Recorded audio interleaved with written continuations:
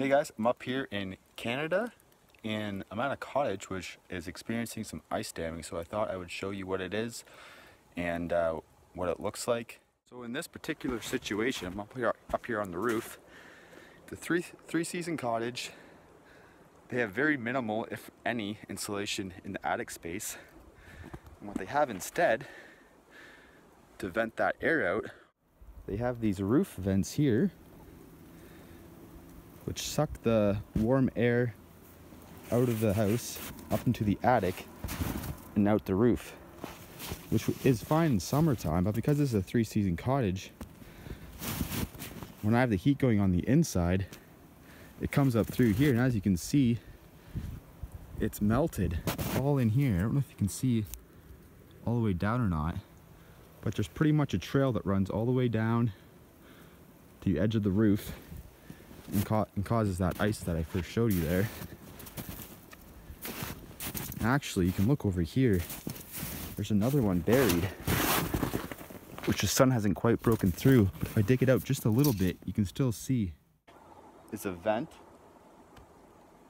that vents out the warm air from your attic, which is okay, but because this is a three season cottage, you don't have any insulation or very minimal insulation in your attic.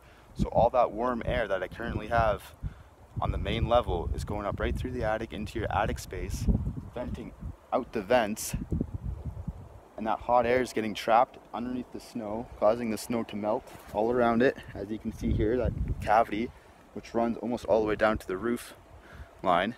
Um, will, the water will run down the roof, hit the eave where it gets cold again because it's not in that attic space, refreeze, usually in the form of an icicle, just off your um, off your drip flashing there.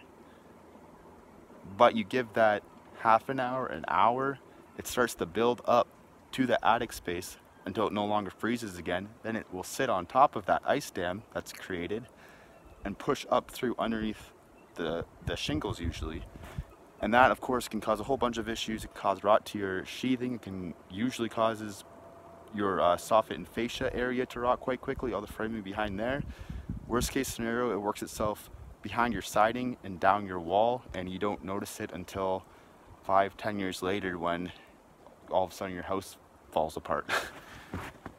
That's one thing to watch out for is uh, in your three season cottage, make sure, that, make sure the attic space is insulated if you do plan on using it in the colder months um, the only reason I'm up here now is to check on it and I left the heat on because I'm here for the full week and there's two feet of snow that's built up on it. It's a lot of weight for your house to support so I thought I'd clear it and I found all the all the ice built up there at the eave. So hope this video was helpful and uh, kind of gave some definition to what ice damming is. Thanks for watching.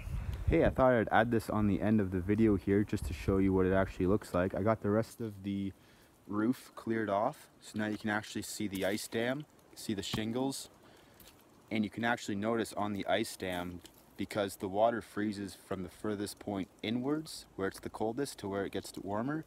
So there's a bit of a dip, a bit of a gully in this ice dam, and that's what the water will sit on.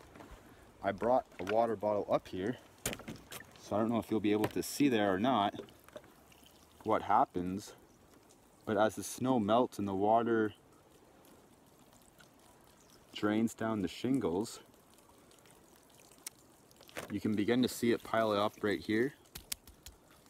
What can also happen, it can work itself behind the ice itself, drain off the shingle and out the bottom if the temperature's high enough for it to drain out. If it doesn't drain out, it will freeze like an icicle and then it will be blocked up however high it takes until it can get on top of the ice and, and drain down.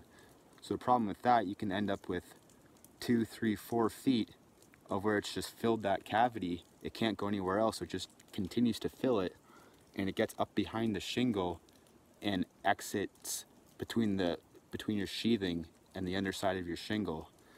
And that's obviously a, almost worse because it can go higher up not just past your eave, but however long it takes until it finds whatever exit it can find. So hopefully that helps visualize it a bit more. Time to head inside.